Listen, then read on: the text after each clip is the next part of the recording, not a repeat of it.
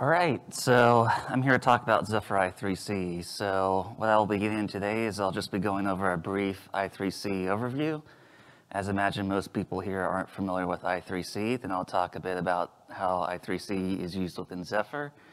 And I'll talk about how the future of i3C within Zephyr all right, so I'll begin with just a brief overview. So first thing I want to get out of the way is just sort of the new terminologies with I3C and I2C. So there are terms master and slave, so now the terms are controller and target, and this is now written into the specification. And also um, I2C did get a specification update for these new terminologies as well. All right, so I3C, it's not a typo, that is a three.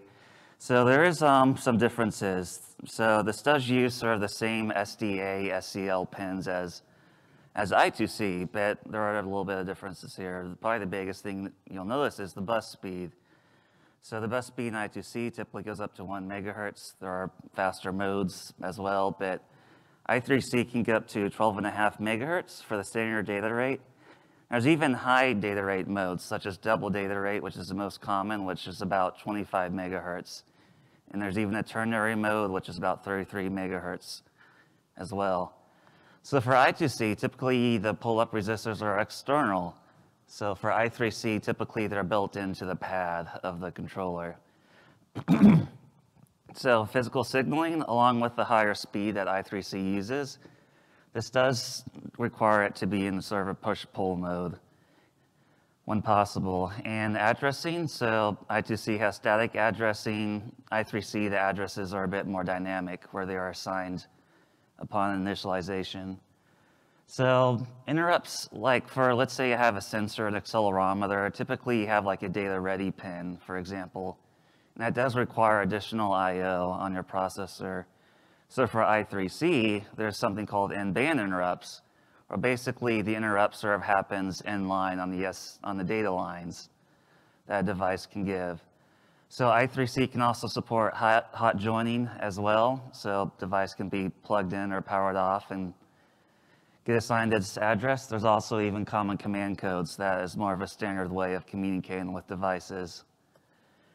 So I want to talk about the terminology as well, because I know when I try and teach people I3C, some people get a little confused on the terminology. So there's three terms for a controller. There's primary controller, secondary controller, and active controller. So primary controller is the, um, this is the I3C controller that upon power on, it acts as the authority and configures all the target devices. So in the initial state, this is the first active controller. So a secondary controller, these typically act as targets upon their first um, power on. But these can also accept the controller role from any active controller. And um, once it becomes a new active controller, it can then pass it back to the previous active controller or onto any other controller capable device on the bus. So an active controller, this can only be one on the bus at a time, but this is the I3C device that presently has control of the I3C bus. And also there are devices that are just target onlys. So this is maybe what you're all familiar with. It just can either respond to common or individual commands from a controller. So there's even more terminologies here with addressing. So we have dynamic addresses, which these are the addresses that are assigned or initialization for who to respond to what. And typically priority is, priority is encoded with these addresses as well. So, and, and there are also two optional addresses that devices may support. A device can have a static address. This is basically similar to what you'll see for an I2C device. Some devices may also support I2C as well, and they will typically use that static address for their I2C mode. There's also group addresses, which is a um, came with the I3C version 1.1 specification. So basically, this is a separate address from dynamic address where basically a controller can assign a group address to like a group of sensors or group of cameras, for example. So that way um, messages can be written all at one time to multiple devices. So the bus is pretty much very similar to how you see I2C um, is also backwards compatible with I2C targets, so an I2C target can exist on an I3C bus. Um, right, so in I3C, there are common command codes as well. So these are a standardized set of commands. So some are mandatory, some are conditional, some are optional. A lot of times if you read the data sheet of like your sensor that you're working with, they'll typically have a table listed of the supported common command codes. And they can also be like broadcasted to all devices on the bus, and some can also be directed to a single device as well. And also, um, every I3C device should have a provisional ID. So this is the uniquely identifiable ID that is used to, to identify the device during address assignment. And there is sort of a, a bit mask for how things are set within it that define like the manufacturer ID, which MIPI will assign for it. There's even more the vendor fixed values that define like the part ID, the instance ID, which sometimes may be come from pin strapping of the device as well.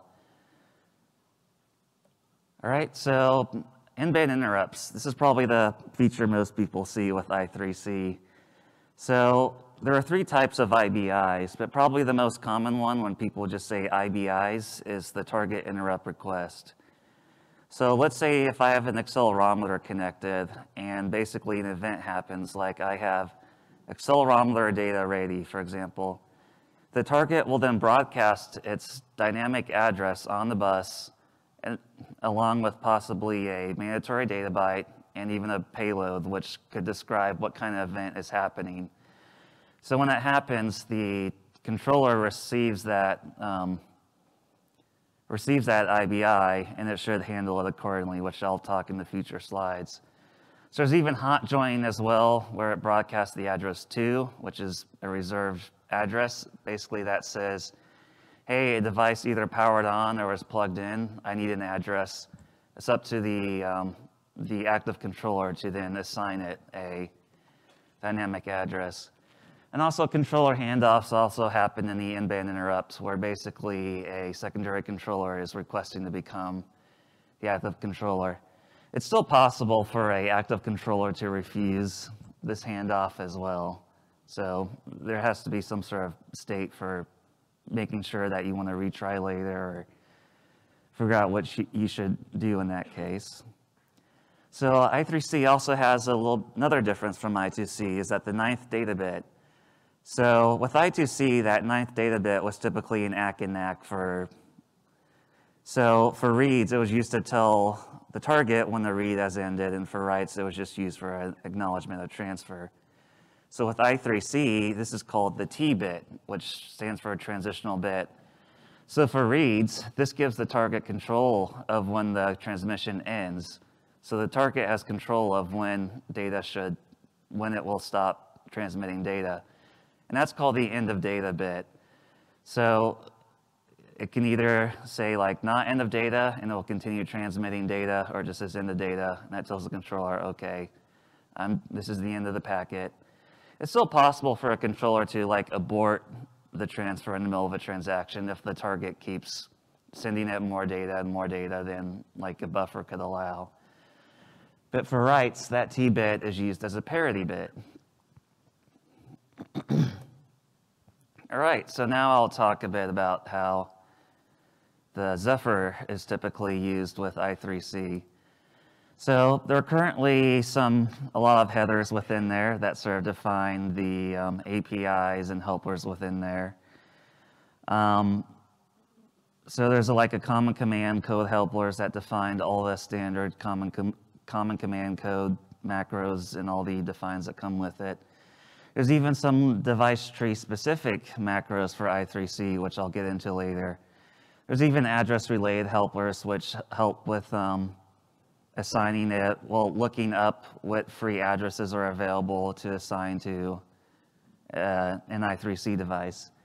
There's even I3C target device support as well. So I3C and device tree, um, this is kind of a little confusing because it's quite different than how I2C. So typically with I2C devices, you have the reg, which just shows off your static address.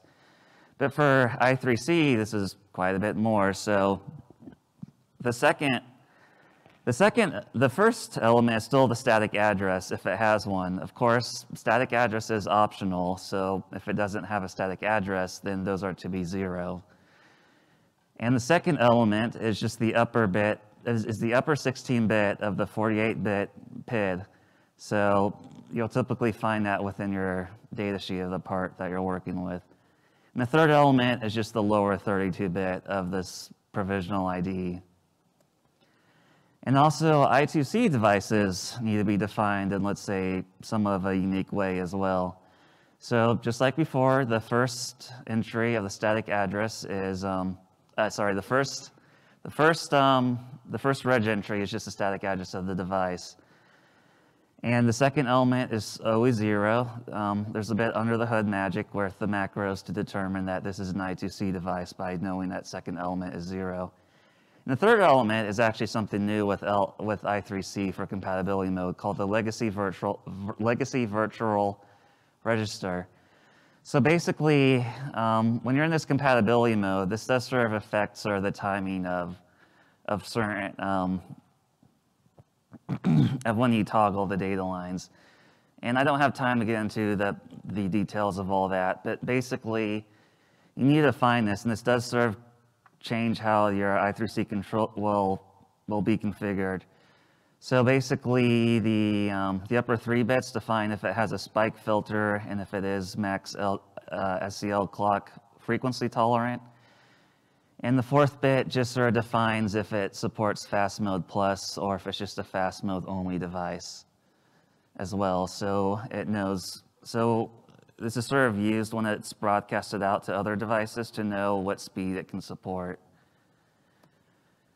Okay, so all I3C devices have this descriptor struct within it. So basically under the hood, this gets put into a singly linked list. And this basically is contained within the driver data of the controller. So basically, this does contain the device pointer for the device itself, along with the bus pointer as well. And this does contain all the um, required and optional standard I3C data within it. So it has the constant PID, the constant static address, you can even, um, in a device tree, you can even request an initial dynamic address, and there is some priority encoded with that, so you may want to think about it a bit, as well as the current dynamic address, um, group address, as well as standard control registers within it as well. Okay, so as I showed earlier, the struct I3C device does also contain the um, oh, sorry, the struct, I, the struct I3C device descriptor is looked up through the I3C device find. So when you want to retrieve that pointer to the device struct, um, all the I3C API has this I3C device find. So you pass the bus device along with the device ID. And this device ID is just the PID, which you read um, from the device tree with the macro below. So you read that ID, you then pass it into this API here, and you'll get, well, hopefully it's found. Otherwise, you'll get a null pointer of the I3C device descriptor. And once you have that device descriptor, um, unlike I2C API, the bus stub is not needed for private transfers because, well, it's already in that, it's kind of redundant. You've already got in that device descriptor. So you pass in that device descriptor is used instead of the just the bus contained with it in it. So however, the, some of the I3C APIs that are broadcasted still use the struct device pointer. So if you're broadcasting a common command code, for example, you still use the same bus. Or if you're doing a the more specific common command code, dynamic address assignment, which has a lot of special stuff around it, then you just pass the same bus pointer with that as well. So, and for um, for a target interrupt request. So if I'm like working on an accelerometer or sensor, I need to have some way of basically getting back the um, sort of having a way to be called into for like, let's say accelerometer or data ready or gyros gyroscope data ready, for example. So when the controller receives an IBI TIR for a target, it will then enqueue the request into a work queue. And so it is up to the device driver for the target to, set, to set up its own function pointer. So it should get its own device struct and then write to that um, IBI callback function, which will then be called back, for example, like, okay, I got my gyroscope data is ready, go out and call the function to then go out and read the registers for gyroscope. So, and there is target support as well. So if you're acting as a target and um, you want to issue like a hot join request, a TIR, or a controller handoff, then that is the IBI raise function. And you there's a struct where you need to find the IBI type, hot join, controller handoff, or, um, or the uh, target interrupt request as well. So target interrupt request can also come with a payload as well that is sent out to the um, sent out to the controller if it accepts the IBI. So there is also backwards compatibility with I2C. So this, there was a lot of debate on how to implement this, and it is kind of a little silly, but it's kind of the only way to get it to work is basically the I2C driver is just nested within the I3C driver API. And um, this does allow for all existing I2C APIs to be used as is. So that means all the in-tree GPIO expanders, in-tree sensors, or external ADCs can be used as is with just an I3C device controller. All right, so there's even um, sort of a helper function in here. So when a primary controller has finished initializing, there is an I3C bus init within I3C common.c, and this just sort of handles sort of the common code between each driver so we're not duplicating code in multiple places. So basically, this will reset all the devices on the bus. There's a common command to do that, as well as resetting the, the dynamic addresses for everything so get everything back to a known state as well as disabling events. So basically, events are just IBI. So this basically makes sure that, okay, I'm about to begin initialization. I want to make sure no one tries to issue IBIs, tells you know all devices to be quiet because I don't want someone trying to interrupt me while I'm trying to perform initialization. So some devices will have static addresses. So there is sort of a, another common command code for assigning dynamic addresses from the static address, well, basically, hey, I want static address. I want to, wait, I want to have um, who has static address like 64 to have dynamic address 32, for example. And basically, it, it checks through its own list. Um, okay, did every device has a static, static address get assigned? Okay, then moves on to the next stage, which basically enters dynamic address mode. So this is something that's required by all devices. So even devices that do not have static address, well, basically this sends out a broadcast saying, hey, anyone need a dynamic address?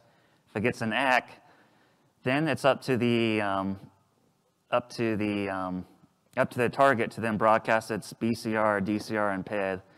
And there is some arbitration within there as well. Well, basically, the one who has like the smallest number of all those combined will win first and get the dynamic address.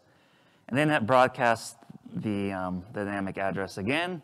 Okay, anyone else need an address? Okay, someone else tries to win arbitration. Okay, assign another address. Okay, broadcast again. Oh, I got a ACK.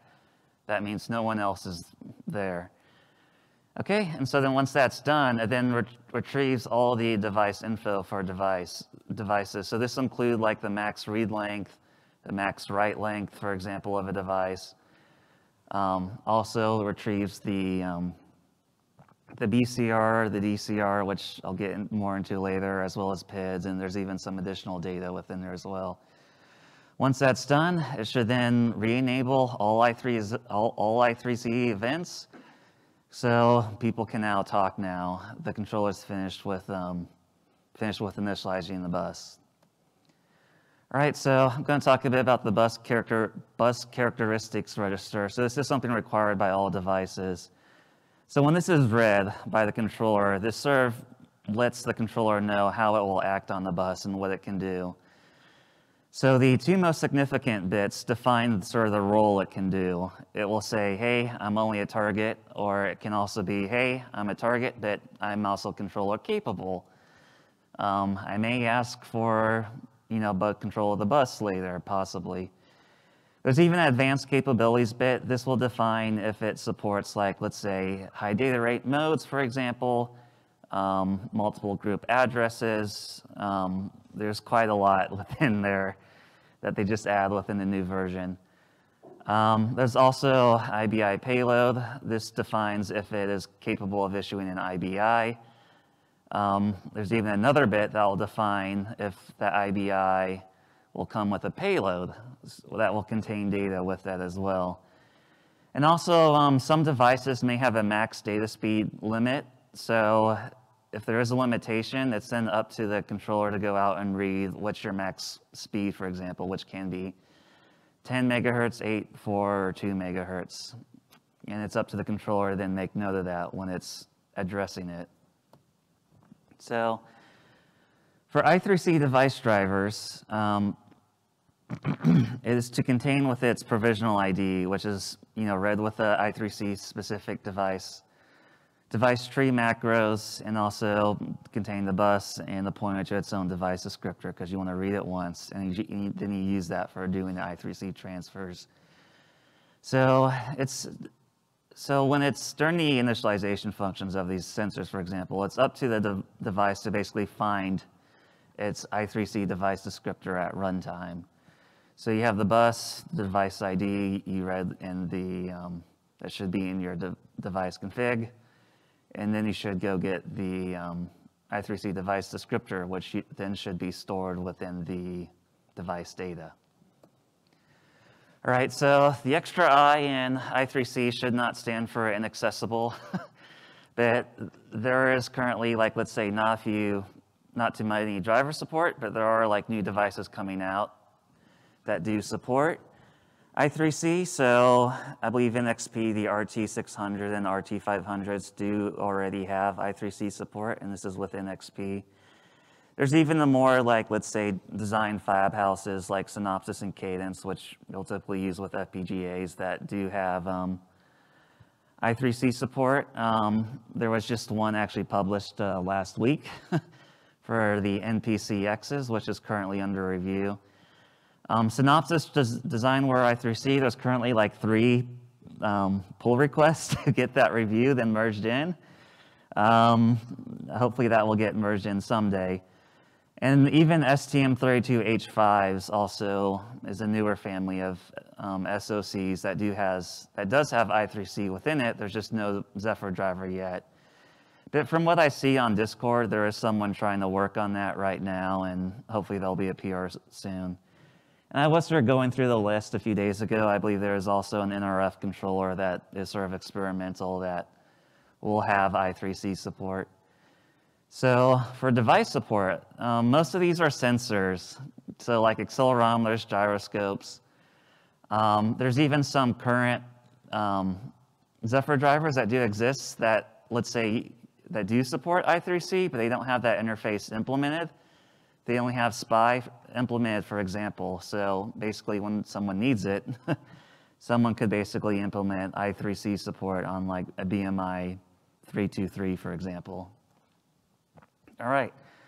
So now a bit about like what could come for I3C. And I know the spec specification, if you find it, like is 600, 700 pages about, or is it 400? There isn't everything implemented within I3C within Zephyr yet, and not everyone has quite used everything yet, but I'm sure that will come soon.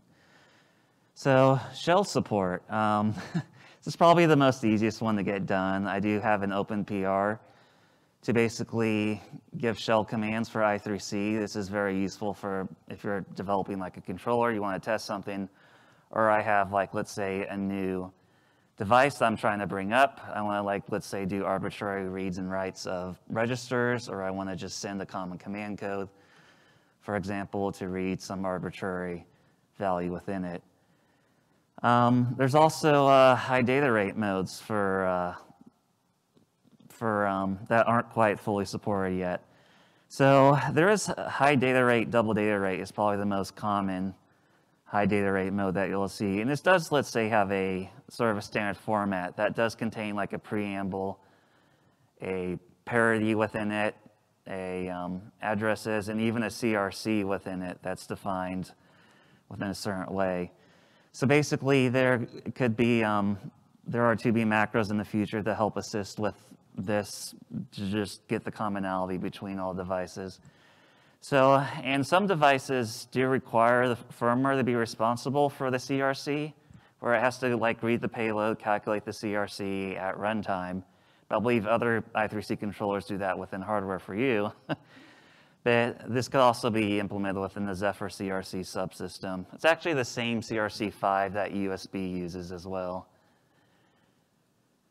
All right, so I know I did mention earlier that there is a a um, controller handoff within IBI, but currently no one implements it. And there's even, let's say, some additional work to get that working as well. As if I'm a secondary controller and the primary controller just assigned everyone the address, you know, how does the secondary controller know what was out there, who got what address? I, the secondary controller should not be changing addresses to something it knows. So basically, this will require modifying some of the Zephyr common code to send out a common command code called define targets at the end of bus initialization or when someone is hot joining the bus. And basically what this would do is inform all the secondary controllers of the device on the bus with their current dynamic address, the PID, the BCR, and DCR. And it would be up to the, um, the secondary controller to match the PID, like, oh, this is that sensor I want to talk to. It has that PID. This is its dynamic address. That's what I use to talk with it. And it's also used to define I2C devices on the bus as well, along with its legacy virtual register within it. Okay, so I, I3C also supports something interesting as, excuse me, as well, called timing control. So basically, if I have a gyroscope or an accelerometer, it's kind of important to know, like, for some algorithms to know the timestamp of when that occurred. And previously, some people would use like the rising edge of like a data ready pin to know when that happens. But well, if you're using IBIs, then you don't have that, that pin. And plus, if it's an IBI, you don't know when that device could win arbitration of the bus, or the bus may be busy, and that IBI comes out much later than the actual sensor time. So basically what timing control is, is basically it's a way of broadcasting the, um, the timestamp of when that time occurred. So all devices should have its own internal counter basically, as well as the controller has its own clock frequency, which is used to correlate the two times with one another. So basically the controller needs to understand, okay, what's the clock frequency it uses for this counter, sets the get X time, and that also would enable the timing control and that gets its clock frequency, and then uses that to correlate the sample times to its own clock frequency in order to cal calculate the actual sample time of the event. All right, so I3C and I2C routing MUX devices. Um, currently, th there are a few in-tree I2C MUXes, and it is a little, let's say, difficult to get that working on with the device tree macros, there are, let's say, some, some ugly hacks just to make it just work. Um, I've had to do it myself. I think I've heard other people had to do it as well. Um, this also does present an issue down the road about how basically a MUX and even routing devices could have its own set of dynamic addresses. So basically it needs to take into account like, okay, I need to assign the specific dynamic address, addresses are free on this route versus that route. Um, so currently device tree macros do not read past the first level of devices. Um, can be a little bit problematic since um, I3C and I2C devices do get under a children of existing devices. Right, so about that get, get device info as well. So basically, there's sort of that common I3C get, get device info, which will basically go through and call all the CCC functions and even write to the the device descriptor for you of all those common codes. So basically, there is a bit more that needs to be done, especially with bringing in like high data rate modes, for example. So basically what needs to happen is that it needs to do a bit more, like read this BCR bit. If some of these bits are set, that means up, oh, there's more information that needs to be read, such as getting the max data speed limit, also its advanced capabilities as well. So this was something kind of fun I just added recently that I did see um, get published uh, a few years ago. There was actually a USB I3C device class, which is kind of new. Um, although I, I don't know when or if this would even come to Zephyr because I, I don't know if there would be a need for it anytime soon. I don't even know if there's host drivers out there yet. But basically, this does sort of allow an interface to expose and configure the I3C function within a USB device. And it was kind of cute what they did in the specification where basically um, all USB devices have, let's just say, a byte that defines what class it is, like I'm a CDC class, I'm a HID class. And what they did for I3C class, the I3C class, they just did the device as 3C as the, the byte identifier, which was available. It was kind of cute. Okay, questions?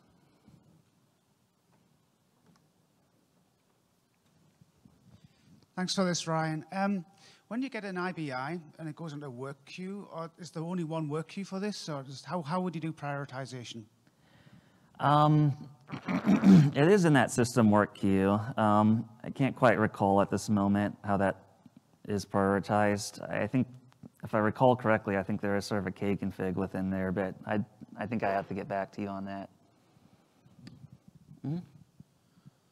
So it seems like um, I3C in general is a bit of a step up in complexity from I2C from like a protocol level. Yeah. and um, I2C devices, at least simple ones like temperature sensors, ultra low power, they're basically not there if you're not using them. Are there like power implications of like the the the counters on the on the uh, target devices and the time conversions and everything else that the controller is doing? Um, there shouldn't be too much power constraints, and even then, I3C for the amount of joules per bit is a lot lower than I2C, for example, with even the push-pull of it as well. But yeah, it, it typically I3C is going to be lower power um, amount of bits you're transmitting, for example. So and even when you're doing like high data rate modes, it's even less power because you're less power per bit as well. But about that timing clock, um, some devices can be, let's say, offline capable. Um, I didn't talk about that in the BCR, where a device can, let's say, power down and may not always respond to commands, but that just sort of lets it know through that BCR register as well. Does that answer your question? Or? Yeah, yeah. Just out of mm. curiosity, if it can't always respond to commands, how do you know when it can? Well, This should be understood by the controller or the device driver when it can. So, mm -hmm. so just a question on the the hot join support. So I guess you know in Zephyr we don't really have any hot plugging mechanism, right? Device trees all all at compile time. Is the idea for that for like power savings since the device can, I guess, be depowered and then hot join the bus at a later date, and then if it can, is there a mechanism for a bus to or for a device to power off and, and leave the bus temporarily, I guess, so it can kind of join and then leave with with I3C? Um, yeah, there that is sort of follows along with the off join compatibility bit. With that off join compatibility, it should be expected that a device will retain its dynamic address as well. Otherwise, they'll have to go through the whole um, initialization process again to get a new address.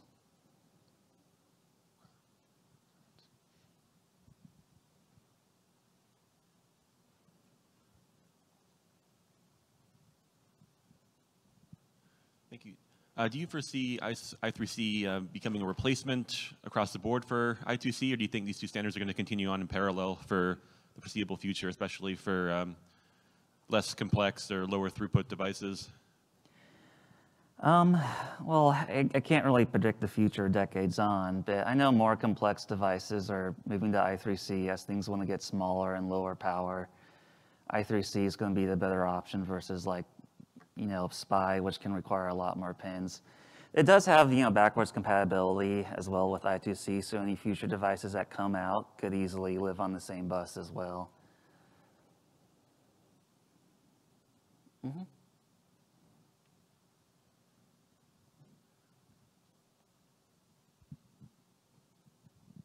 Hi, Ryan. Um, yeah, thank you for reviewing my my mux patches on the on the upstream. Uh, I just want to ask. I've I've worked with a lot of I3C devices, and I've noticed that a lot of them kind of don't support the vast majority of like the spec in the sense that they seem to me like they're just using existing I2C capabilities, but they just added like the higher speed and they just called it a day. No dynamic address assignment uh, no hot join interrupt support and stuff like that. I'm wondering if you've seen that before and uh, if you think that we should push manufacturers and like the groups, for example, like the DDR manufacturers, which is JEDEC, to like have like the whole um, spec supported, and um, if that's like an ongoing thing that we're working on, if you've encountered. Yeah, um, I- know that as you, like, let's say reconfigure those IPs, like the die size can be a little bit bigger for some devices and even power constraints as well. But I mean, it's, it's really up to the implementer on if they really need like double data rate, because some may just be like a temperature sensor or gyroscope. You're just reading a few bytes at a time, for example. But yeah, I mean, some devices do see even I3C versus I2C, like power constraints and even the higher speed is even like a, a benefit as well. But as far as getting manufacturers to support all the specification, um, even then, some of these IP vendors that will make the, um, that make sort of the RTL don't even support the full configuration of the specification either. But I have seen as time moves on, they do get more of the specification implemented. So, so those people who are like creating those devices have those options to add those in. Yeah. Thank you.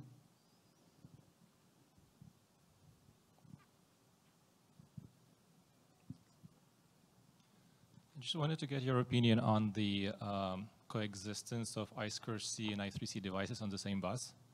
Um, if, would you think that's a good idea? Basically, if it's a safe idea, because theoretically the concept is great, uh, but you rely on that 15 nanosecond deglitch filter that I2C devices should implement if they are compliant to the spec, which, as we all know, may or may not happen. It's up to the vendor to actually make sure it, com- it complies to that spec. So. Um, have you seen or do you, do you think there might be interoperability issues in that sense, so it would be dangerous to combine devices on the bus?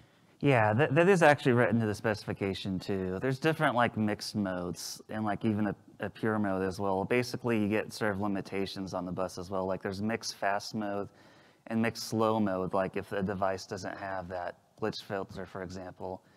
And even then, like if you're in a mixed mode, you can't do some of these like high data rate modes, for example. Like you need to have only I3C devices on the bus, um, if, if I'm recalling that correctly as well.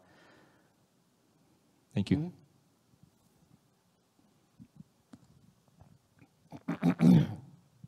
So, what would you say the current market share of uh, peripherals using I2C is? And is it a little bit of a chicken and an egg of microcontrollers being hesitant to fully embrace that, and then the peripherals also being hesitant to embrace it because you don't have micros in, embracing it? Or is it both kind of across industry a push towards adopting I3C? Um, it is kind of a push, but it is going to take time. I mean, you know, a lot of controllers already have I2C, for example, and if you just replace that with an I3C, you, you still retain your I2C support. So you're not like losing anything there as well, even for controllers as well. You can still maintain the, the let's say the for legacy controllers that support I2C just on the same pin with the same controller as well. Thank you. What's the best way to get started in Zephyr? So what's the best board and the best sensor to just uh, plug and play and try it out? Um, for I3C, um, for off the shelf, there is the, there's, a, I know there are the RT6, 600 as well, but I know the, a lot of people love STMs for example. So there's that H5, which I think they do have some, some dev kits you can order. But like I said earlier, there's no driver yet. but I believe someone is going to be publishing that soon based on where, because he is saying he is working on on Discord. But as far as sensors, um, there is sort of that list as well. I think if you just Google i3C Cafe, for example, there's someone who has a blog post about current i3C devices as well. Mm-hmm. Yeah, we hit time, so any last questions?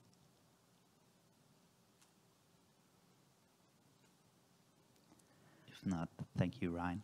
All right, thank you all.